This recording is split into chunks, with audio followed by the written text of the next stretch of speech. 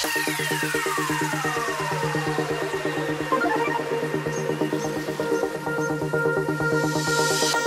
हम जानेंगे most important topic में से एक हाइगेंस का द्योतिक तरंगिकाओं का सिद्धांत। तो चलिए शुरू करते हैं।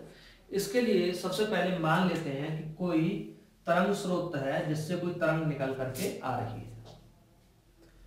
और ये कोई तरंग माध्यम है जहाँ पर तरंग है। या आप इसे ऐसे समझ लीजिए कि कोई तरंग माध्यम है।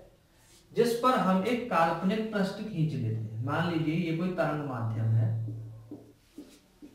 मान लीजिए ये कोई तरंग माध्यम है, जिस पर हम कोई काल्पनिक पृष्ठ खींच देते हैं।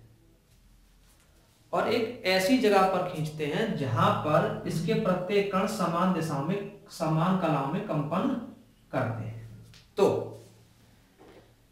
कोई आपका तरंग माध्यम है जिस पर हम कोई काल्पनिक पृष्ठ खींचते हैं, जिस पर प्रत्येक कण समान कलाओं में कंपन करता है। प्रत्येक कण किसमें करता है?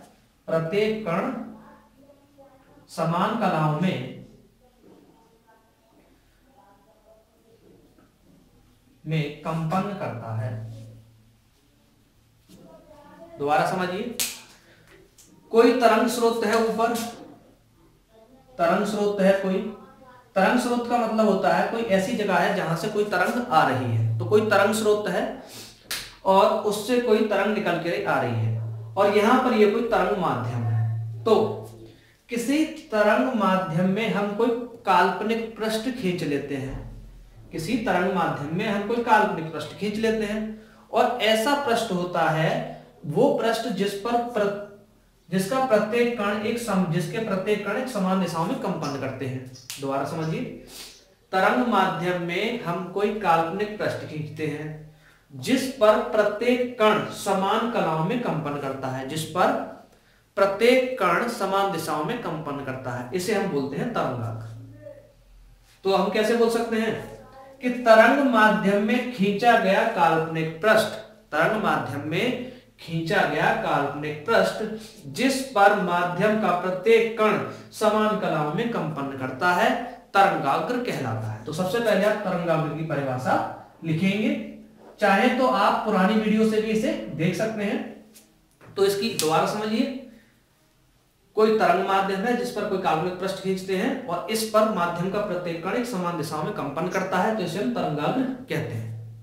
तो तरंग माध्यम में खींचा गया वह काल्पनिक पृष्ठ, जिस पर माध्यम का प्रत्येक कण समान कलाओं में कंपन करता है, तरंगाग्र कहलाता है।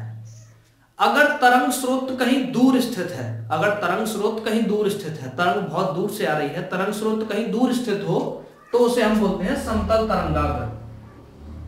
अगर तरंग स्रोत कहीं दूर स्थित हो तो उसे बोलते हैं समतल तरंगाग्र, और अगर बिंदुगत हो और अगर बिंदुगत हो तो उसे बोलते हैं गोलीय तरंगाग्र तो एक बार दोबारा थ्योरी समझ लीजिए।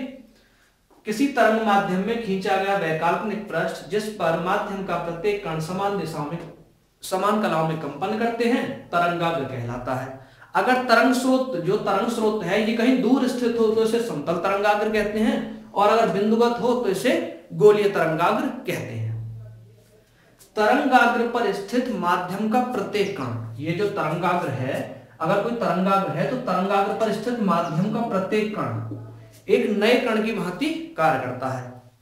तरंगाग्र पर स्थित माध्यम का प्रत्येक कण एक नए कण की भांति कार्य करता है और उनसे नई तरंगे निकलती हैं और उनसे नई तरंगे निकलती हैं, जिन्हें हम द्वितीयक तरंगिकाएँ कहते हैं।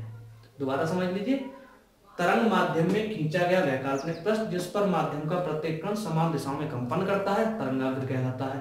अगर तरंग तरंग स्रोत कहीं दूर स्थित हो तो समतल तरंगाग्र कहलाता है, और अगर बिंदुगत हो तो गोलीय तरंगाग्र कहलाता है। तरंगाग्र पर स्थित माध्यम का प्रत्येक कण एक नए कण की भांति कार्य करता है, और इनसे आपकी नई तरंगे निकलती हैं, जिन्हें हम द्वितीय तरंगिकाएँ कहते हैं।